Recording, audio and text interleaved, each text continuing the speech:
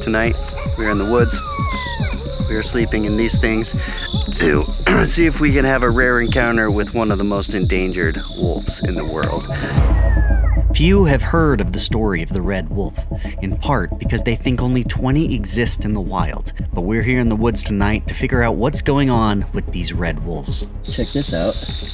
There are literally dead bones. Well, all bones are dead, but they're underneath our hammock. How'd you hear that?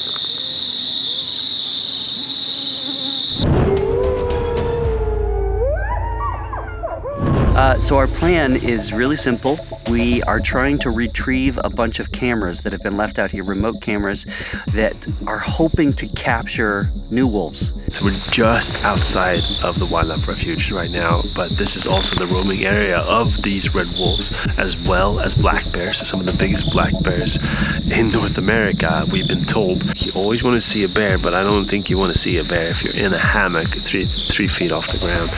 We both agreed that if the other person gets bared, I'll just say that, the other person can't run away, they have to help.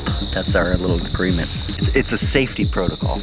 Bears don't like people, that's what you say. The thing everybody wants to understand is what's happening to this population of wolves? Why is it declining like it is? And we hope that maybe we'll find some answers with these camera traps. But first, let me give you some background on these wolves. These are considered the most endangered canid in the world. It's also considered the American wolf. But most people who think of wolves probably think of something like this. This is the gray wolf, a formidable predator and the largest wild dog on Earth. So let me take a second to compare the two. First, they'd never existed together. Gray wolves were up north and out west, red wolves out east. Coincidentally, coyotes could also fill a niche under the gray wolf's territory, but not where the red wolf was. As far as size goes, the gray wolf is the largest, maxing out at 175 pounds. The red wolf, only about 80 pounds, and the coyote, no bigger than 50.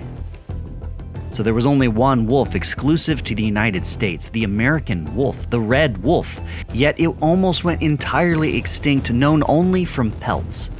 Imagine if this was the only way we could learn about this species. Fortunately, that's not entirely the case. As biologists and filmmakers, we were able to capture this image. But many are surprised to hear that back in 1980 it was declared extinct in the wild. That's when they captured the last 17 individuals. These wolves were put into a species survival plan, all of which was intended to save the species. We know all the genetics of these animals, and we're trying to maintain the genetic diversity as much as possible. We have around 250 animals under human care in 40 different facilities that participate in the breeding programs for red wolves. And what we call that population is the assurance population to make sure this animal doesn't go extinct. There's 18 wolves back here right now, so there's more wolves back here than there's probably in the wild. That's amazing. In 1987, they reintroduced the wolves to Alligator River National Wildlife Refuge, which is where we hope we can find the wolves. But first, we have to pick up the key from my friend Roland Kays at the North Carolina Museum of Natural Sciences and NC State. This is the guy that literally wrote the book on mammals. There's a wolf in there somewhere. Is there? We are trying to get from Roland the locations to the cameras that are set up in wolf country. And there's tons of bear sign. You're gonna have tons of bears on this camera. And there's tons of bear sign in here. Here's your key to unlock the locks. Oh, great. One of the most endangered species of mammals anywhere in the world. We're hoping to catch them on camera. We've just now gotten the key for the remote cams that hopefully have wolves on them.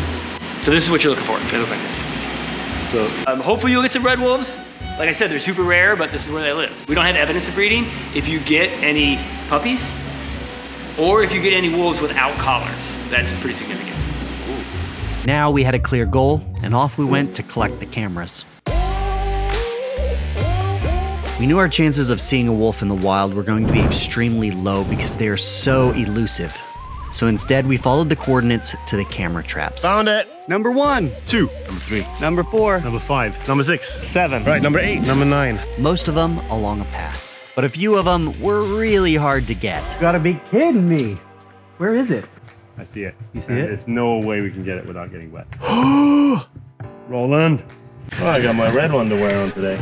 That is spiny. All right. Oh, crud. Oh my god. And what the hell? This is number 10. Golden ticket. And the cameras didn't disappoint.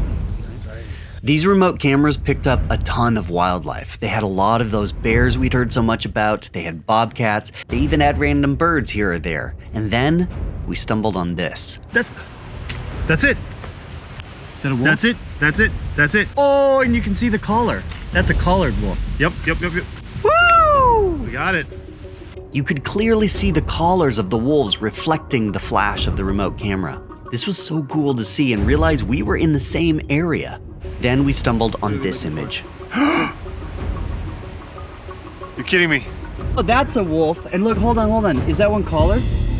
No, I can't see it. Wait Well, there's a no minute. reflection. That's huge. That'd be huge. And just for reference, that's our feet a few hours after the wolf passed, which I would imagine the scat we found on the trail was from that animal. Oh! Just stinky though. Now you might wonder how can we tell the difference between a coyote and a red wolf? Because we know coyotes have finally made it here. Well, to our amateur eyes, it's hard to tell. But Roland and the other biologists seem to think most of them are wolves, but some of them look kind of coyote ish.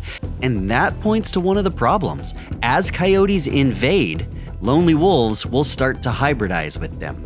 And these are indicators as to why the population is decreasing coyotes, hybridization, and people just mistaking coyotes for wolves. Truth is, the problem is complicated. So, our journey to find images of these wolves ended in success. Not only did we see a lot of wolves and the wildlife that could support them, we found what appears to be uncollared wolves. In the end, we took these images back to Roland and his camera trap team so they could analyze them in more detail.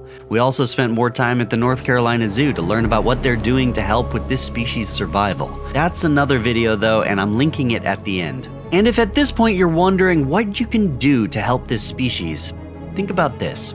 First, people don't realize that wolves are actually really good for a healthy ecosystem. The wolves won't be eating your chickens, they'll actually get rid of the coyotes, and they'll be keeping deer populations healthy. And finally, the issue is also political. It needs public support.